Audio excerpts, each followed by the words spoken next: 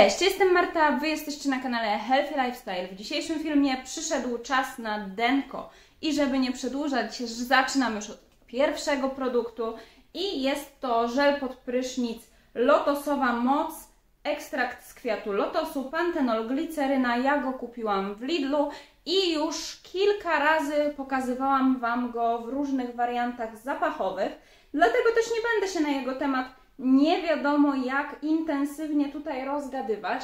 Y, jest tani, pieni się, myje, nie podrażnia mnie. Troszeczkę tę skórę wysusza, dlatego też używam większą ilość balsamu do ciała. Zazwyczaj staram się używać żeli pod prysznic, które są bardziej nawilżające, ale gdy akurat nie mam nic pod ręką, to chętnie też sięgam po ten, bo no, są żele, które mi dużo gorzej wysuszają skórę, tak jak na przykład DAF. A ten to nie jest tak, że on mi wysusza skórę na wiór, tylko po prostu niektóre żele pod prysznic mają właściwości nawilżające. Ten według mnie ich nie ma. No jest to dość tani produkt. Ten skład też nie jest jakiś nie wiadomo jak idealny, ale no generalnie zadania spełnia. Myję, ma myć, więc jest super. Też się mocno pieni, no bo to też nie jest jakiś tam produkt naturalny. Mm, no i jest wystarczający. O, może tak. Kolejny produkt jest to regeneracja dla stóp od Nivelazione, albo no ja nigdy nie wiem jak to wypowiedzieć. Jest to sól ziołowa do kąpieli stóp. W takim dużym opakowaniu tutaj jest 600 gramów. Mm, I ogólnie ja uży, przyznam Wam, że trochę sobie robiłam eksperymenty, bo używałam tej soli nie tylko tak, żeby sobie wymoczyć stopy, ale wsypywałam ją też do kąpieli, po prostu do wanny, tak jak sól do kąpieli. Nic mi się złego nie stało, bałam się, że może mnie będzie swędzić skóra, że mnie podrażni, właśnie chociażby dlatego, że mam taką ze skłonnościami do przesuszenia się. Tutaj mamy ogólnie kompleks biominerałów, ekstrakt z mięty, ekstrakt z szałwi. Jest to sól przeznaczona dla skóry suchej, szorstkiej, bardzo zniszczonej. Więc w teorii nie powinna mi zaszkodzić też inne ciało, ale no to jest produkt przeznaczony dla stóp, więc Wam tego, oplułam Was, więc Wam tego nie rekomenduję, przepraszam, po prostu mam dużo na głowie i chcę szybko nagrać film, a może to jest błąd. Mm, nie rekomenduję Wam e, używania produktów kosmetycznych i w ogóle jakichkolwiek niezgodnie z ich przeznaczeniem, ale ja sobie tutaj na własną rękę troszeczkę przeeksperymentowałam i wyszło całkiem fajnie, bo ta skóra była rzeczywiście taka nawet bardziej nawilżona i zmiękczona. E, no i to błędnie farbowało wodę na, taki, na taką lazurową, wiecie, mogłam się poczuć troszeczkę we własnej wannie jak e, w ciepłych krajach, więc dla mnie było to super. Kolejny produkt jest to truskawkowa odżywka nadająca włosom truskawkowo-różowy odcień z Onlibio i ja byłam zachwycona tym produktem, no bo nadawał faktycznie, ja mam włosy hennowane na rudo, wiecie, no tutaj teraz już mam odrost i niedługo będę hennować te włosy znowu, ale sobie stwierdziłam, że, że sprawdzę, czy potęguje ten produkt efekt rudości, bo zazwyczaj jest stosowany przez blondynki, żeby nadać właśnie włosom takiego truskawkowego blondu. Dobrze mówię? Tak, dobrze mówię. A ja zaryzykowałam i słuchajcie, faktycznie ten kolor się wzmacniał i momentami gdzieś tam z tyłu miałam więcej swoich i one się niestety troszeczkę rozjaśniły, gdy nakładałam rozjaśniacz na ciemniejsze włosy, gdzieś tam nieopatrznie rozjaśniłam też y, swój naturalny gdzieś tam odrost, no i on się troszeczkę za mocno rozjaśnił. I tutaj ogólnie pod spodem, to gdy nałożyłam tę odżywkę, to miałam taką czerwoną żarówkę i bardzo mi się to podobało. Poza tym ta odżywka pachnie obłędnie, więc yy, przypuszczam, że jeszcze po nią nieraz sięgnę. Kolejny produkt jest to także produkt do włosów i ja nagrywałam rolkę z efektami po takim pierwszym użyciu, więc możecie sobie zajrzeć na moj mojego Instagrama. Tyle, że ta rolka była już wstawiona parę miesięcy temu.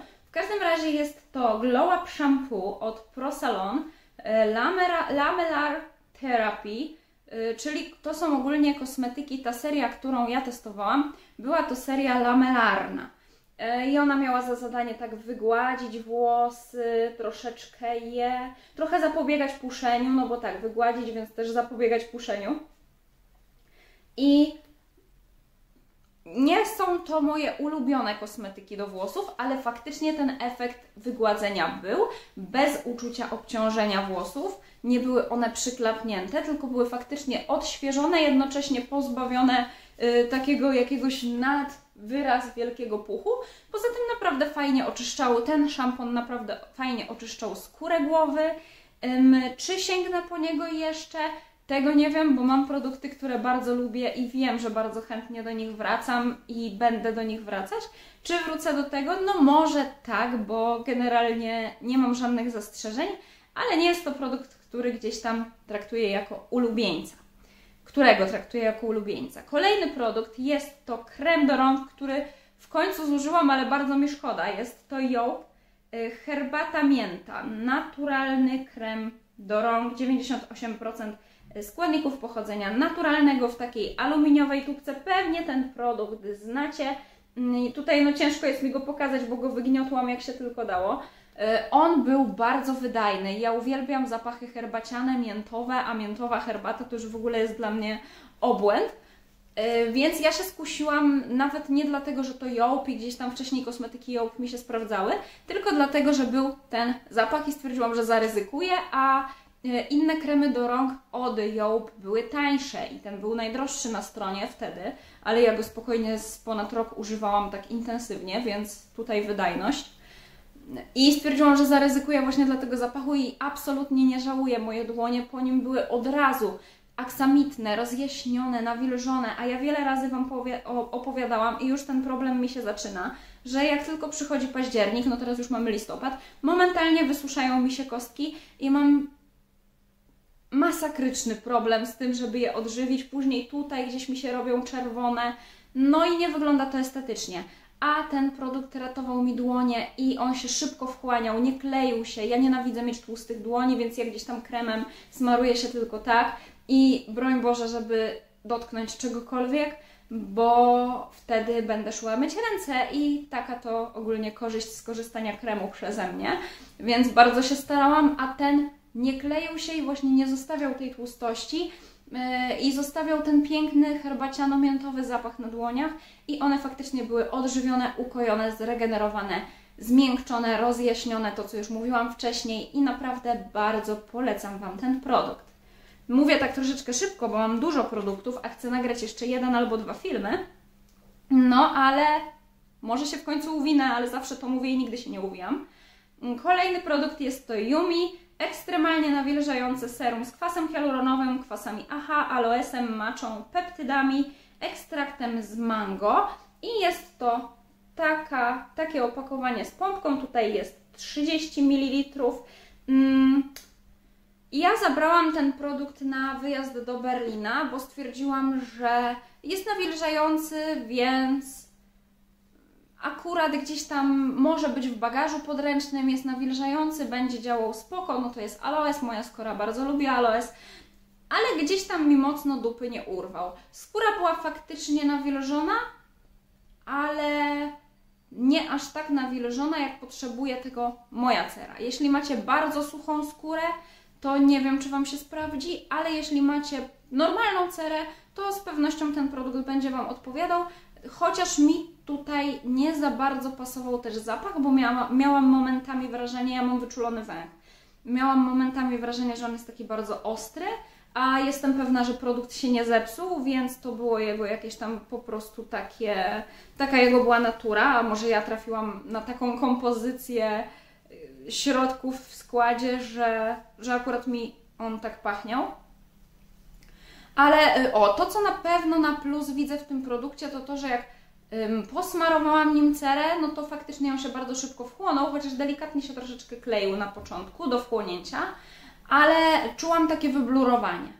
Także to są na pewno plusy tego produktu, że wydawała mi się ta cera bardziej jednolita, ale jeśli chodzi o to nawilżenie, to nie do końca spełnił moje oczekiwania.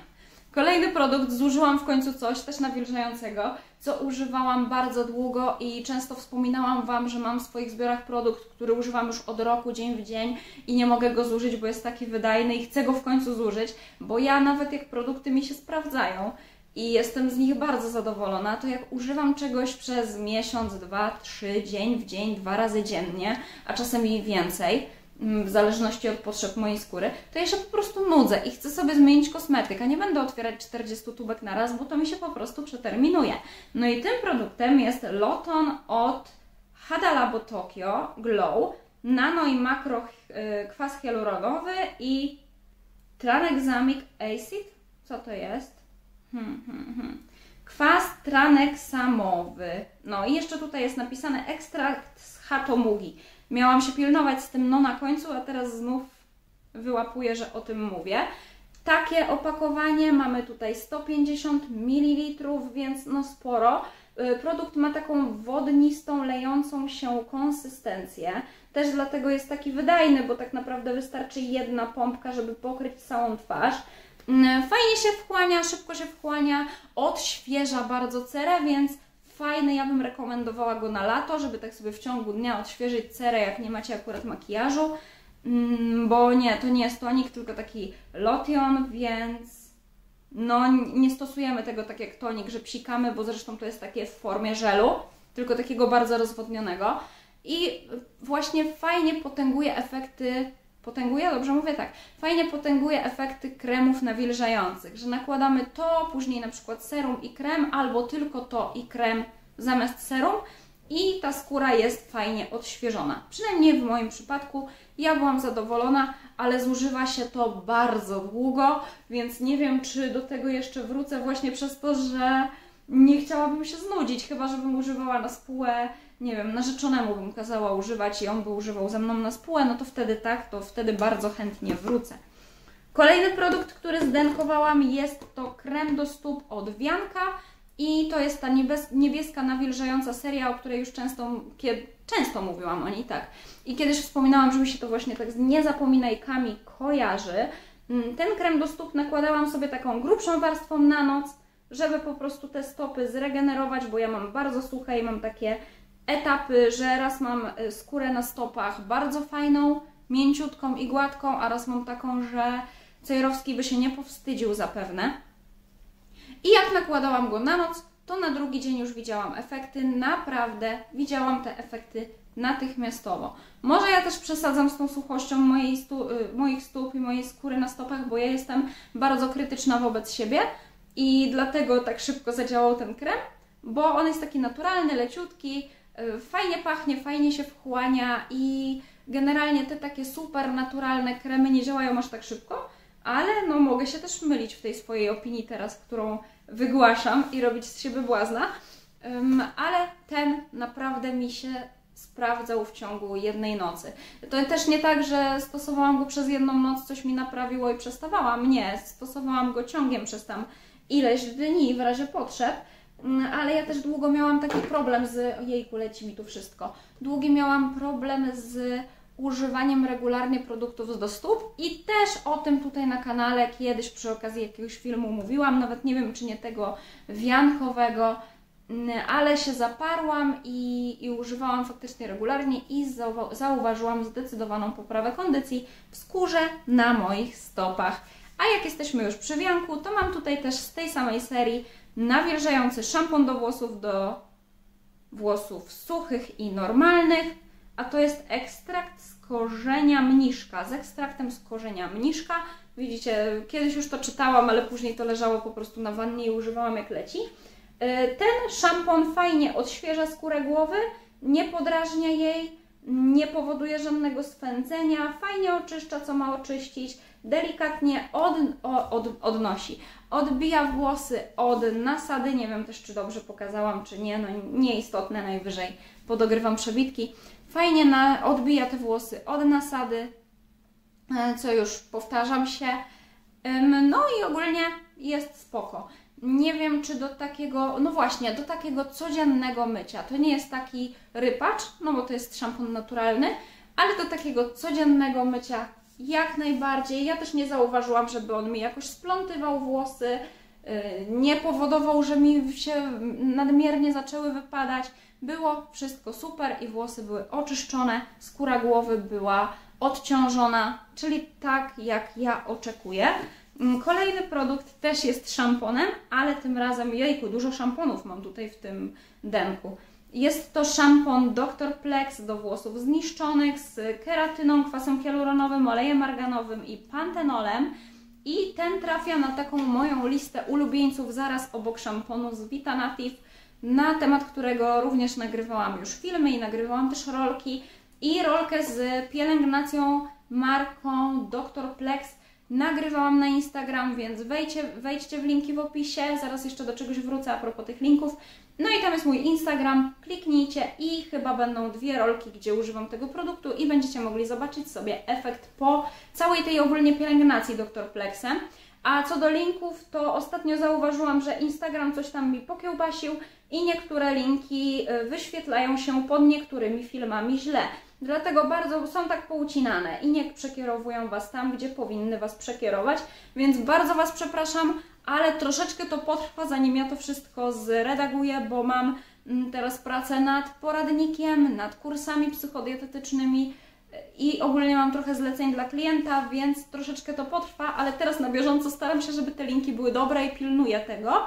E, więc pod tym filmem linki na pewno będą działać dobrze.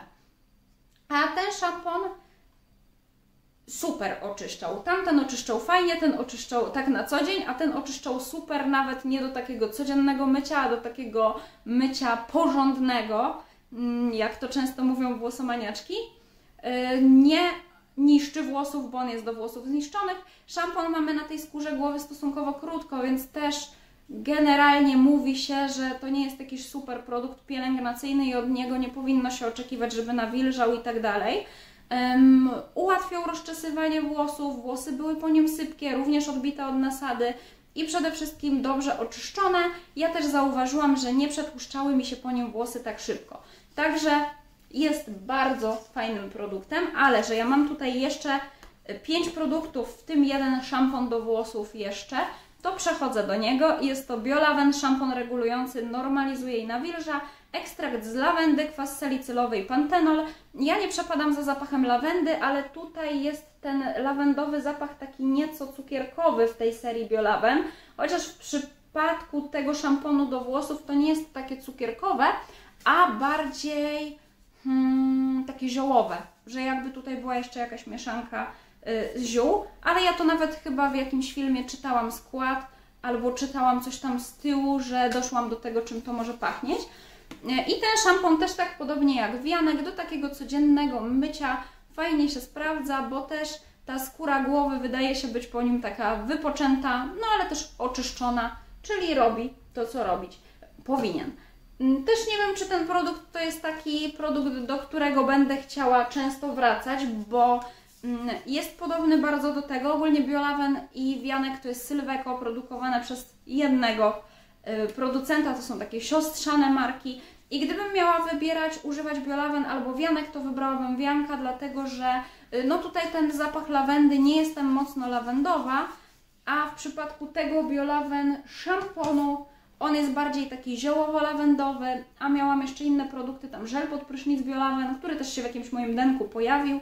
I on był bardziej cukierkowo-lawendowy, że kojarzył się z landrynką mm, i jego używałam. Chętniej i do niego chętnie wrócę, a tutaj szampon, ten zapach, ja też chcę, żeby poza tym, żeby, że produkt działa, to żeby mi troszeczkę pachniał, szczególnie, że y, jest na włosach i ja te włosy czuję mocno, bo te zapachy osadzają się na włosach, i nie chcę, żeby coś mnie irytowało, ale ogólnie produkt jest bardzo fajny do takiego codziennego mycia.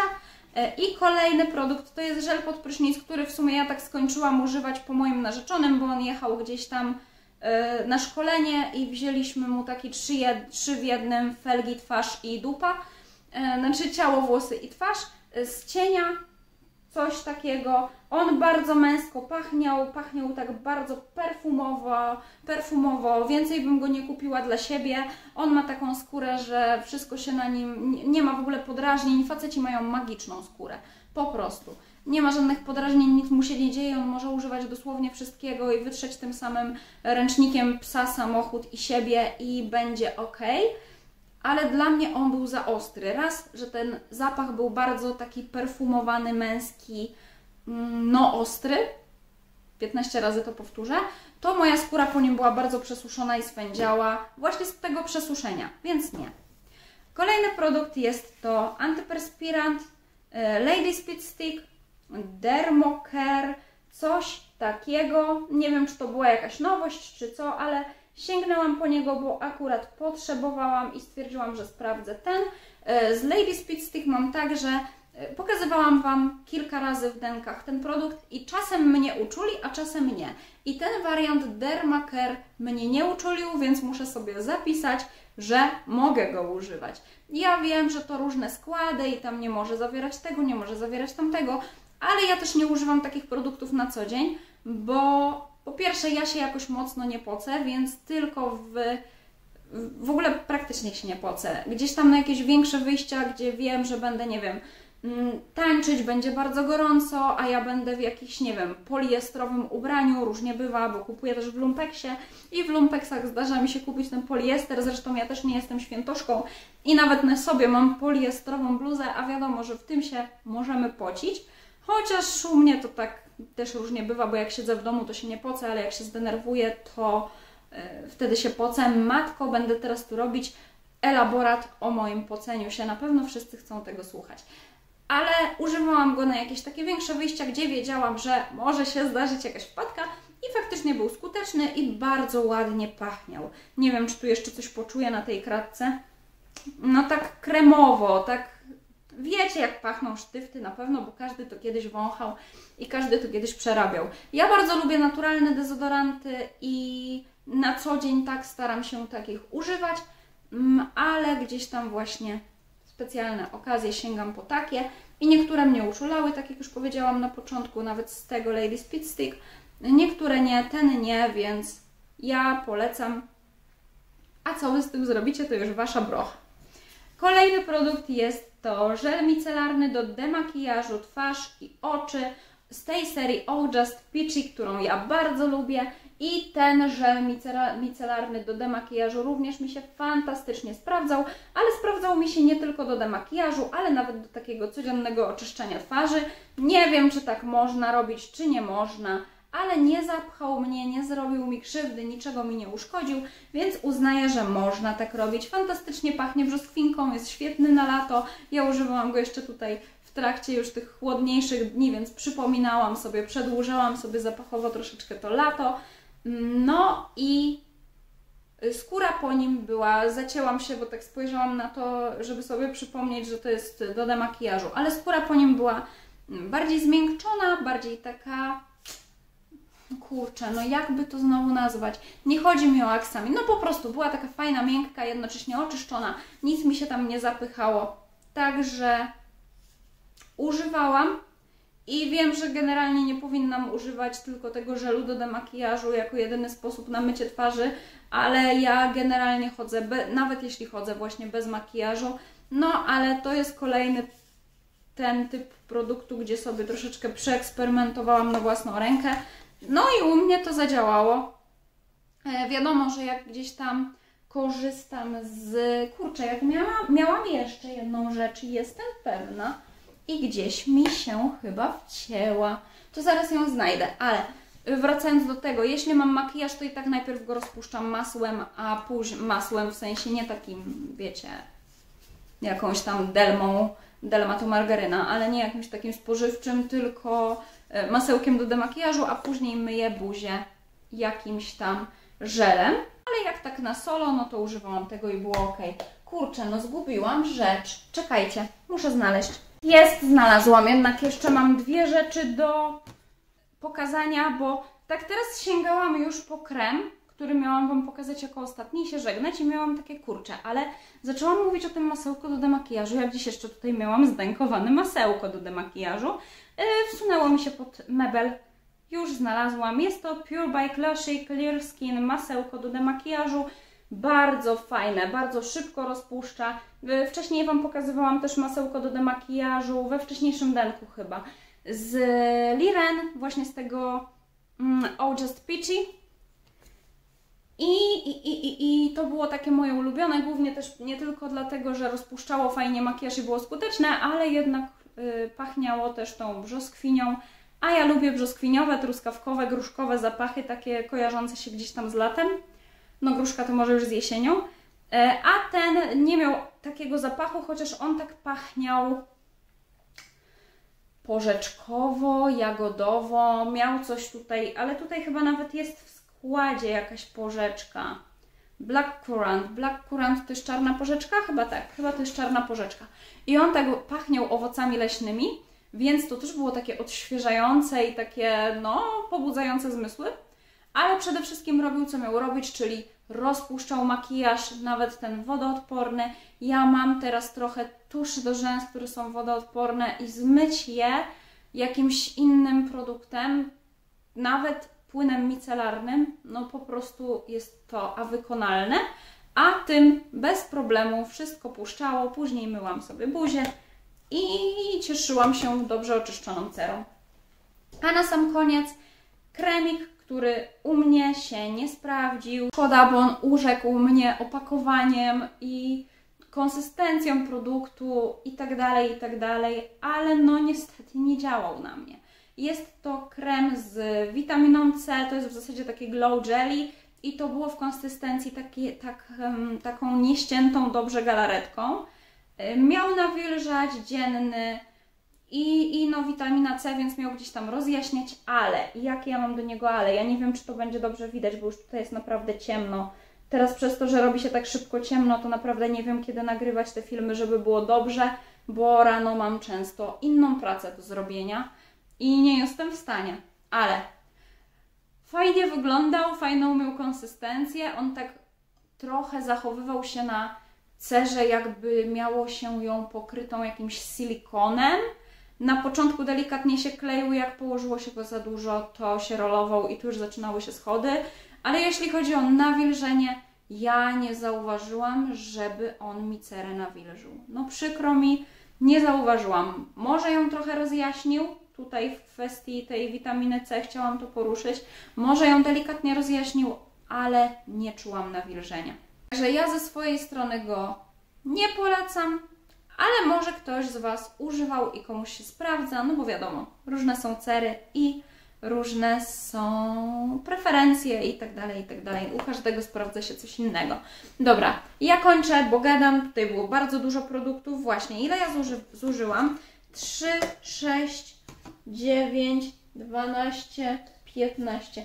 Aż 16 produktów zdenkowałam w październiku. Uważam, że to jest mnóstwo. Zazwyczaj miałam taki wynik, jak robiłam w ciągu dwóch miesięcy, ale to dobrze, bo to znaczy, że pozbywam się jakichś tam otwartych, napoczętych jakiś czas temu opakowań.